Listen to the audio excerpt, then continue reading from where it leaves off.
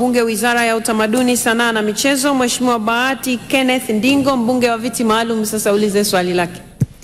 Mheshimiwa Bahati anauliza, je, kuna mkakati gani wa kuhakikisha jamii ina maadili mema kutokana na ongezeko la mmomonyoko wa maadili? Swali hili linajibiwa na naibu waziri Mheshimiwa Hamis Mwenye Mjuu.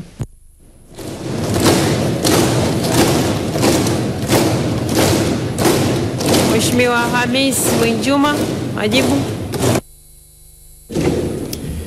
Asante Mheshimiwa Spika, na kwa vile ni mara yangu ya kwanza kusimama mbele ya bunge lako hili tukufu kujibu swali kama naibu waziri wa utamaduni, sanaa na michezo, naomba dakika moja, dakika moja niweze kutoa shukrani kwa Mwenyezi Mungu kwa zawadi hii ya uhai na kila kinachotokea kwenye maisha yangu likiwemo hili.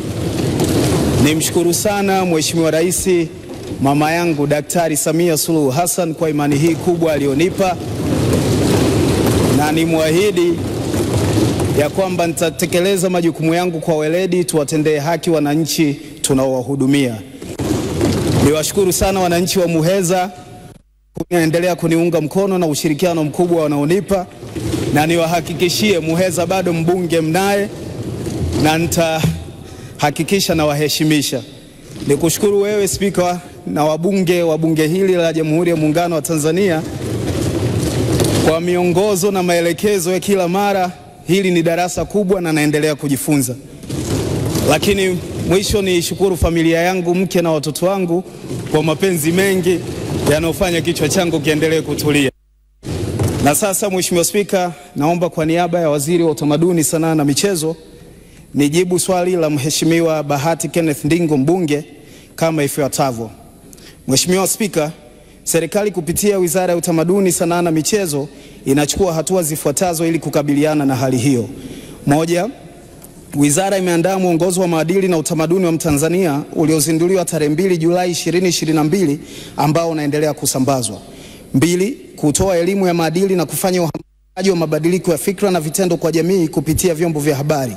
Mathalan, katika kipindi cha Januari mpaka Aprili 2023 wizara imefanya vipindi kumi na moja.